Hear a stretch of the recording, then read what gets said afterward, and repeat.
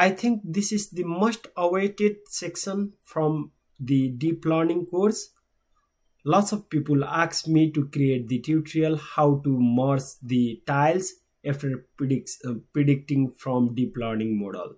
So in order to do that, I'm going to use the GeoTile package, which is over here. So this package is available freely on the GitHub uh, under my profile. Its name is GeoTile.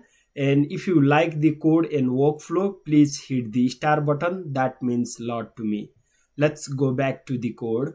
So here, so first thing is you need to like import this package. So simply run it uh, and then install it and then after that you can import it with the from geotile import geotile and after that you need to like initialize this package with your large image and based on that uh, you can simply like predict all the uh, all the like tiles and then you can like merge them back and then get the single image. So here I already uploaded my file xtest.tif in the Google Drive. Uh, in the same location is DL water bodies and I'm going to use the same file uh, to predict the uh, deep learning like water bodies. So here you can see the width and height are quite different than the our model input which is 256 by 256 so but uh, I'll, I'll show you how to like predict and save it as a single file. Okay so the first thing is uh, to generate the tiles. Of course we can generate the tile and then save it internally with the save tiles equal to false option and then i also try to provide the stride x and y value because this time it's just the prediction and we we don't need the overlapping of the image. Of course if you want you can provide like leave it as a default option which is 128 by 128 but i recommend you to like not to provide the overlapping area. And after that of course it's i showed you in the previous section so we need to pre-process the data which is convert none to zero and then also normalize the tile. That will uh, normalize our tile values between 0 and 1 and after that if you check the like uh, some of the parameters so tile data dot shape there are 70 tiles it can produce and which are like 256 by 256 by 4 size which is exactly same as the model deep learning model input tiles shape. And then the maximum and minimum value is 1 and 0 and then data type is float 32 and after that you can like predict your test model dot predict based on the uh, gt dot tile data but this time i think i forgot to initialize my model over here. So let me go back. Okay. I need to run this cell so it will load my model. After that only i can like uh, do the prediction. So after that i am simply doing model.predict on my gt.tile data so the tile data shape is over here so it will try to predict and then uh, if the prediction is greater than my threshold value which is 0.5 then i call it as a water otherwise i ignore it i I say it's a it's just the background. So after that, so my prediction is done. After that, I need to like uh, add that prediction on the tile data attribute. And yeah so after that i can like save my tiles into the prediction prediction tiles folder. So you can say whatever folder you want. So it will just save the TIFF files into the one particular like directory.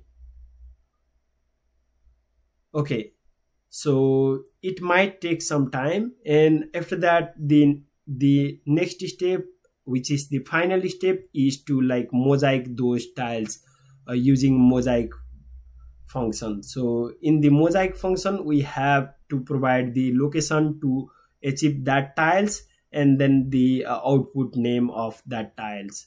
So you might if i like do the refreshing over here you will get the like predicted tiles over here. So these are the like tiles predicted tiles automatically generated from geotile package. And after that so i'm simply mosaicing those tiles into into the predict merge.t file. And if i check over here i should get that uh get that predict uh merge.tif so it should be inside water bodies and then uh here it is. Okay. So this is the like required file. So i can download it and then uh, i i i can like visualize it in the qgis or if you want you can visualize it with the matplotlib package as well but i prefer to visualize it with the qgis so which is over here in the download folder.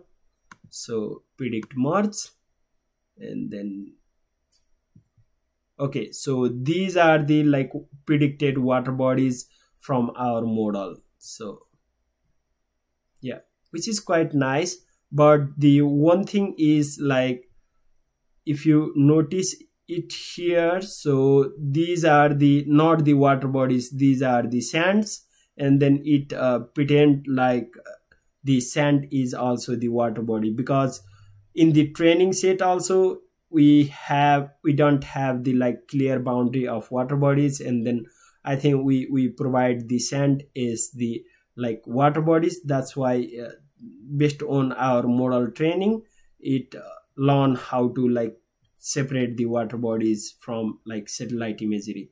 But in this particular parts you can see there are lots of noise. So these are not the water bodies uh, in in our like y true value. So let me load that file also. All right. So this is the actual like label from our training dataset. And then this is the like predicted one. So predicted one has like less i think narrow boundary of the water but in the uh, actual y test we have like very thick border.